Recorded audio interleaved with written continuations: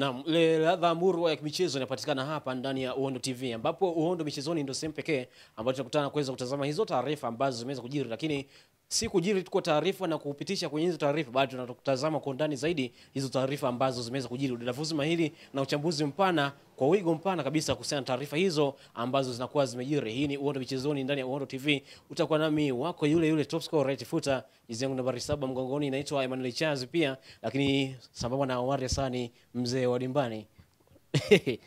kuna cha kusema? Kuna cha kusema? Eh, kuna cha kusema kingine? kuna cha kusema kingine. Sawa, taarifa ambayo tuko nayo wakati huu na tunaanza nayo ni kuhusiana na taarifa ambayo inamhusu aliyekuwa CEO ama afisa mtendaji wa klabu ya Simba Senzo Barsa Mazingisa, raia wa Afrika Kusini, ambaye taarifa zinaweza kuwa amefikishwa kituo cha polisi Oysterbay Kinondoni jijini Dar es Salaam kwa tuhuma za kuweza kuihujumu Simba. Ameweza kawa na kesi ya kujibu hapa, lakini kabla ya kuja huko, kwanza tuanze kutazama kuhusiana na taarifa hiyo ya yeye kuweza kufikishwa kutokana na tuhuma za kuweza kuihujumu Simba. E, amefikishwa kulingana na, na, na yani kutoa maelezo juu ya taarifa ambazo zipo juu yake. Kwa hiyo ndio shutuma ambayo ipo na, ta, na taratibu ambazo zimeendelea ni za kidola ki, ki, kidola zaidi, kwa maana ya jeshi la polisi ndio ambao wamezishughulikia, lakini ambaye amehusishwa naye ni Mbaga ambaye aliwahi kuwa mkurugenzi wa wanachama wa klabu ya Simba. Kwa hiyo kuna mawasiliano yaliwahi kufanyika baina yao ambayo yanaonekana kwamba yalikuwa yanahusiana na kuihujumu klabu ya Simba. Kwa hiyo ame, ameenda kwa ajili ya kutoa maelezo.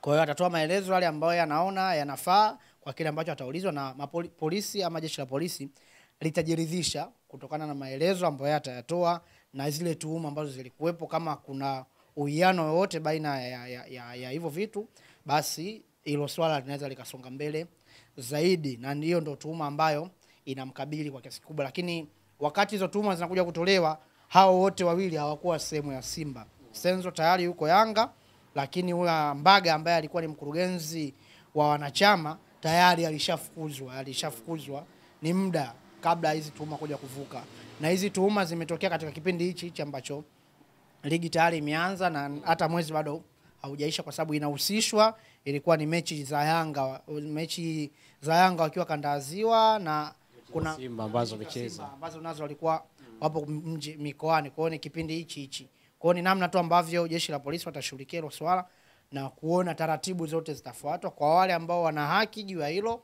wakapewa haki yao, na wale ambao hawakustahiki kuwa na haki basi wasipate, na mwisho wa siku mambo mengine yaweze kuendelea.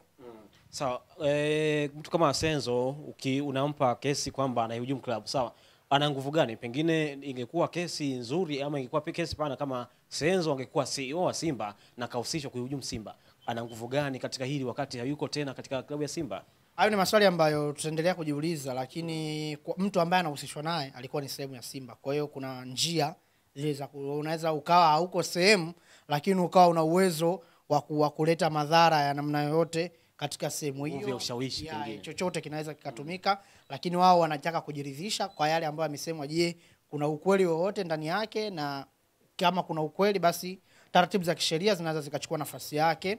Kwa hiyo sio kwamba eti yeye kutokuwa sehemu ya Simba hana nafasi ya, ku, ya, ku, ya kuifanyia chochote Simba. Ana uwezo hata wa kuwa na nafasi ya kuisaidia Simba kwa sababu tayari alishakuwa sehemu ya Simba, na ana uwezo wa kuipelekea madhara Simba, kwa maana kuidhuru, kwa sababu alishakuwa sehemu ya Simba. Ma- Masuala haya yanajitokeza, pengine inaweza ikawa imeshawishishwa zaidi kwamba tukio hili ama swala hili limeleta nguvu zaidi, hususan baada ya matokeo ya juzi kati ya Simba dhidi ya Yanga, Yanga dhidi ya Simba moja moja, ile sare, kwa sababu performance ya wachezaji wa Simba inalalamikiwa na huenda mtu na huenda mtu kama Zakaria Hansop ambaye anaonyesha ana nguvu katika klabu ya Simba, huenda akawa ametumbukiza tumbukiza vitu hapo kuweza kusababisha masuala haya. Ah, hizi tuhuma zilikuwepo kabla ya mechi ya Simba, ila ilikuwa tu nasubiriwa ni Senzo kama atafikishwa. Alianza kuchukuliwa Mbaga, kwa hiyo huenda jeshi la polisi limefanya mazungumzo na Mbaga, wamejiridhisha kwa namna ambayo wanaona inafaa, lakini mtu mwingine ambaye ana- anaweza akahojiwa aka, aka, aka, akahojiwa ni Senzo. Kwa hiyo namna ambavyo atahoji, huenda Senzo kwa kuwa anafahamika zaidi, ndio ambayo tumesikia katika hizo tuhuma amehojiwa, lakini huenda wakapatikana wengine ama ndo wakawa hao ambao watahojiwa juu ya hizo tuhuma, kwa sababu tuhuma haziwezi kuwahusisha tu hao wawili ambao hawakuwa sehemu ya klabu. Huenda kuna wengine wako ndani ya klabu nao wanahusika. Kwa hiyo kuna namna hiyo ambayo wataangalia wao, na hilo swala la kwamba wanaihujumu klabu kwa sababu zipi zinazopelekewa hujumu klabu, na ndio kitu ambacho sisi tunasubiri kwa sababu klabu imesema inahujumiwa na watu wamekamatwa. Kwa hiyo kitu cha kwanza Simba wenyewe wamethibitisha kwamba wanahujumiwa, yani wao wenyewe wanaamini, kuna imani wanao kwamba wanahujumiwa. Watu wanaofanya hizo hujuma ni miongoni mwa watu ambao wanashukiwa, kwa sababu hakuna uthibitisho moja kwa moja.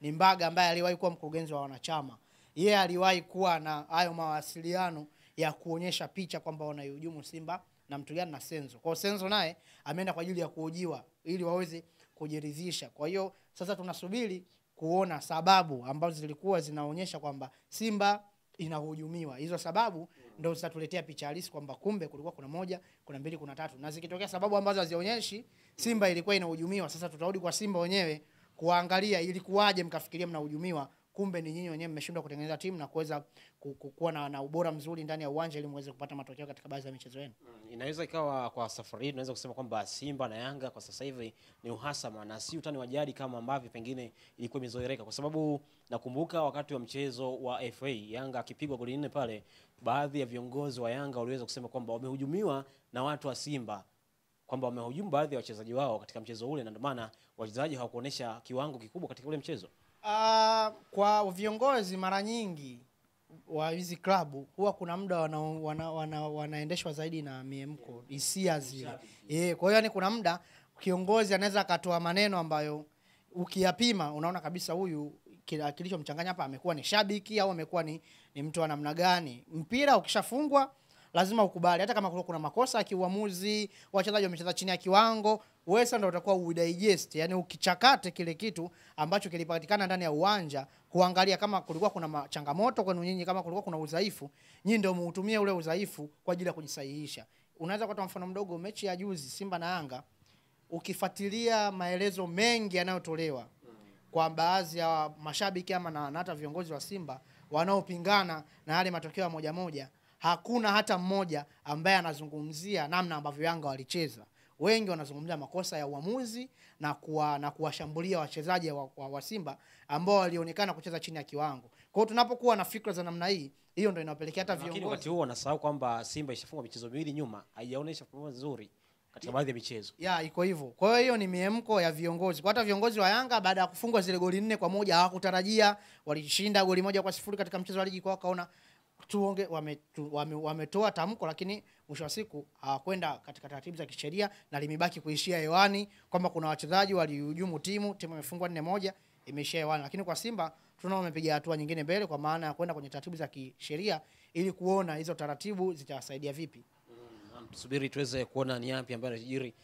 Eh, Binafsi kwangu inaweza kawa kama ni surprise, kwa sababu mara nyingi kwa Tanzania sijawahi kushuhudia kupelekana kwenye vyombo vya sheria kwa sababu ya kuhujumu upande mwingine.